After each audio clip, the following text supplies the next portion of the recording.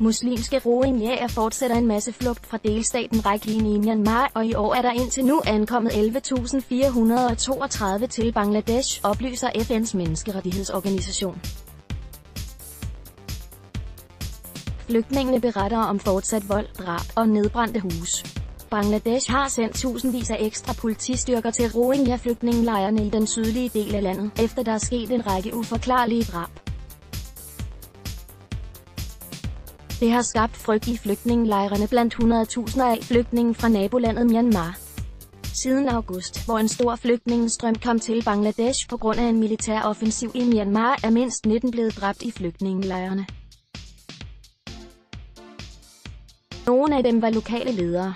Politiet har foretaget en række anholdelser som følge af drabene, men motiverne til dem er ukendte. Drabene er sket efter mørkets frembrud af grupper af mænd, som har været bevæbnet med pistoler, knive og stokke. Lejrene bevogtes af bangladeshiske soldater om dagen, men om natten er der næsten ingen vagter. Nu er en specialstyrke på 2.400 mand sat ind på opgaven, siger Iqbal Hossein, som er en ledende politimand i kystbyen Cox's Bazar.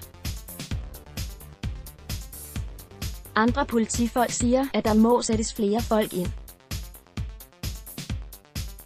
Lige nu har vi 1000 politimænd til 1 million mennesker, så det er ikke svært at se, hvad der er galt, siger en anden politichef Aurul Haktuchil. Der var også vold i lejrene før august. Politiet i Bangladesh siger, at volden dengang skyldte kampe om kontrol over nødforsyningerne til lejren.